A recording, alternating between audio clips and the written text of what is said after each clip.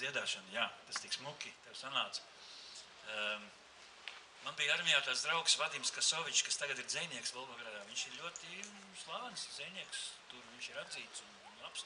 Viņš arī dienas laikā rakstīja dzēļus un rakstīja dziesmas, un viņam bija ļoti precīzs un brīnišķīgs teiciens, kad kāds, piemēram, dzied vai spēlē ģitāru dzied, kāds iet garām un skaļi uzvedās, viņš met ar cepuru vienalga ko un kliedza, ka kā tu vari, kad cilvēks dzied, viņam čūska nekož. Ar tu ej garām un skaļi uzvedies, vispār nepievērs uzmanību. Cilvēks tajā brīdī ir instruments, ja kā tu tā vari. Un man ilgus gadus mocīja šī doma, ka man ir jāuzraksta dziesma manam draugam Vadimam no Volkogradas. Un, lai gan mēs arī neesam sazvanījušies vismaz desmit gadus vairs.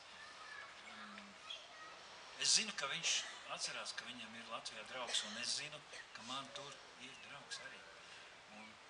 Es iedzeru kādreiz, tas ļoti, ļoti reti notiek.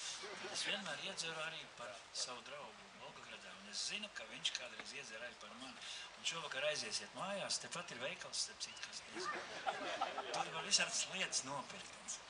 Un visādas gardumus arī. Un, un varbūt ir vērts pacelt vienu glāzi, kā pie rīt brīvdienu. Kā un kuram, protams, par tiem draugiem, kas varbūt kaut kur tālu, tālu, varbūt viņi par jums domā, tikai nezinu, kā jūs sauties. Un tā ir tā dziesma, ko, ko es te gribu veltīt visiem jūsu tāli, tālajiem draugiem.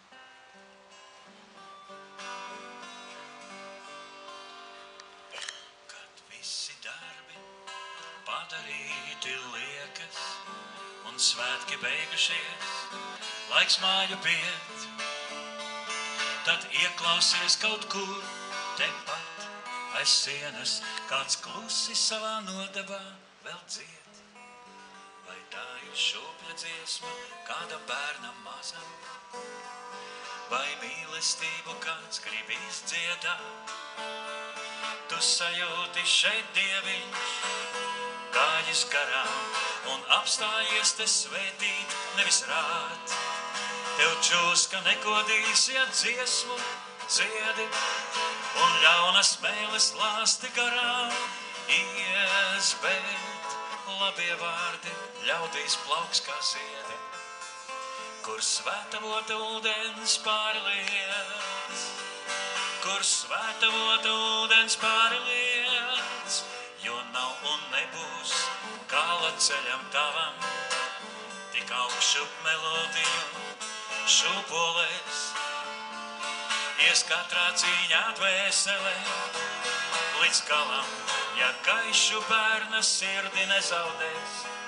Tev čūska nekodīs, ja dziesmu ciedi un ļaunas mēles lāsti garām ies, bet labie vārdi ļaudīs plauks kā ziedi, kur svētavota ūdens pārliec, kur svētavota ūdens pārliec, kad visi darbi padarīti liekas. Un svētki beigušies, laiks māju piet.